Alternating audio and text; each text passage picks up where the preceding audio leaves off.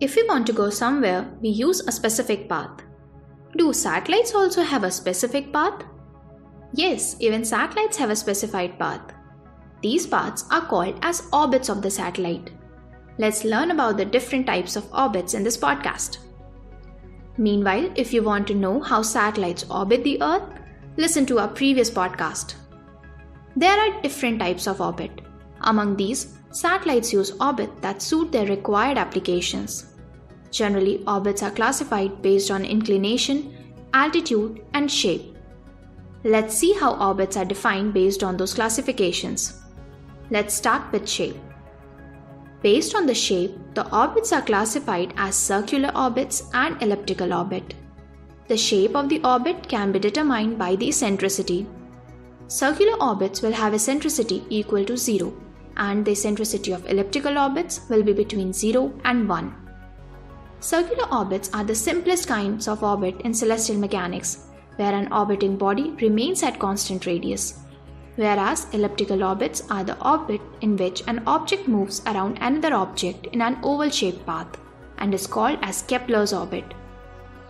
Now that we have completed shape, we'll move on to altitude. Based on the altitude, orbits are classified as lower Earth orbit, medium Earth orbit, and high Earth orbit.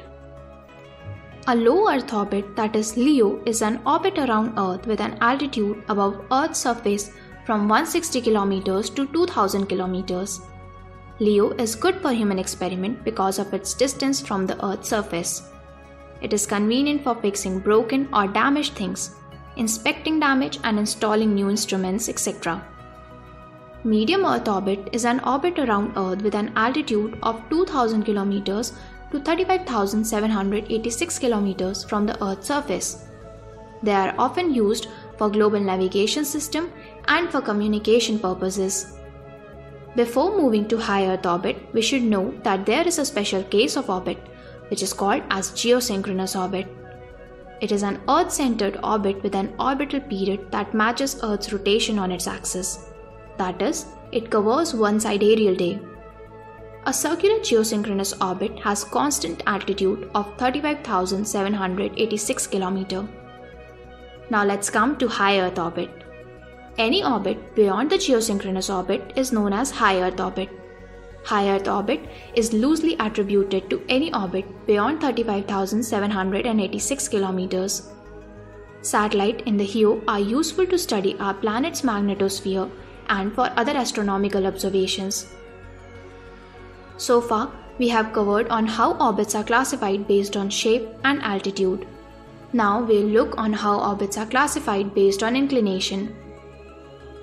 Based on inclination, orbits are classified as polar orbit, equatorial orbit, prograde orbit, and retrograde orbit.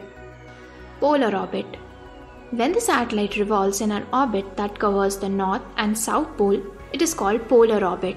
It has an inclination of about 60 to 90 degrees to the Earth's equator.